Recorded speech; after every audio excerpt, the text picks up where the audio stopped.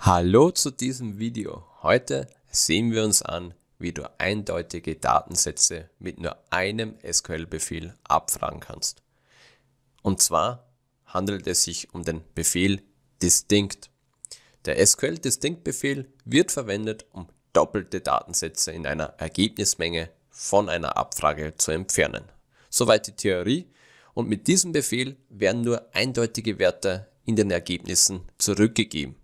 Das kann nützlich sein, wenn man sicherstellen möchte, dass jeder Datensatz nur einmal in den Ergebnissen erscheint. Wir werden uns dann in weiterer Folge ein praktisches Beispiel dazu ansehen. Der Distinct-Befehl wird in der Regel mit Verbindung oder in Verbindung mit anderen SQL-Anweisungen wie Select, From und Where verwendet. Sehen wir uns das nun konkret an. Wir haben folgende Situation. Stell dir vor, du bist der Chefkoch eines Restaurants und möchtest eine Liste aller Zutaten erstellen, die du für deine Gerichte in deinem Restaurant verwenden möchtest. Was tust du? Du nutzt eine Datenbank, in der alle Zutaten, die du bisher verwendet hast, gespeichert sind. In unserem Fall handelt es sich nicht um ein äh, Chefkoch oder ein Restaurant, sondern um Mitarbeiter. Diese führen wir aus. Und wenn wir bei diesem Beispiel bleiben vom Restaurant, dann ist es so, dass in dieser Tabelle du sicherstellen musst, dass es keine doppelten Einträge in den Zutaten gibt. Zum Beispiel hast du versehentlich mehrere Male die Zutaten Mehl eingetragen, obwohl du es nur einmal gekauft hast. Hier kommt natürlich dann der SQL Distinct Befehl ins Spiel. Mit diesem Befehl kannst du dir sicherstellen, dass in deiner Liste nur eindeutige Zutaten oder in diesem Fall Mitarbeiter aus der Tabelle angezeigt werden, ohne dass doppelte Einträge vorkommen. Bevor wir weitermachen, bitte diesen Kanal kostenlos abonnieren, damit ich noch mehr Videos dir anbieten kann und bedanke mich bei allen, die diesen Kanal dadurch unterstützen. Vielen Dank. Wir haben nun vor uns das Ergebnis einer Tabelle. In diesem Fall handelt es sich um ein SQL-View.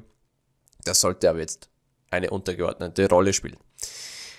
Um nun eindeutige Datensätze aus dieser Ansicht zu erhalten, müssen wir uns zunächst überlegen, welches Attribut wir als ähm, eindeutig ausfindig machen möchten. Wir könnten in diesem Fall definieren, dass wir das Land, wo dieser Mitarbeiter zugeordnet ist, ermitteln möchten. Und zwar möchten wir alle eindeutigen Länder. Damit haben wir eine Übersicht, wo unsere Mitarbeiter angestellt sind. Das kann wie folgt aussehen.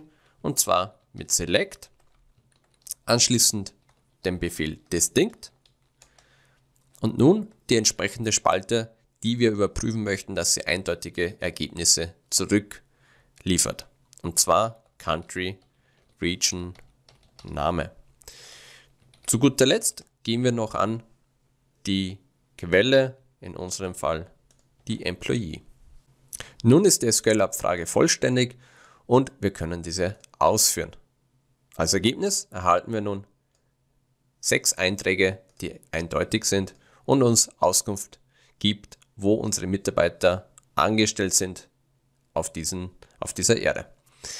Nun möchte ich auch noch einen Hinweis machen und zwar findet ihr die Anleitung oder die Dokumentation zu diesem Befehl unter diesem Video als Link. Damit könnt ihr in Ruhe das für euch nochmal durchgehen und auch zu einem späteren Zeitpunkt in aller Kürze nochmal ähm, durchgehen.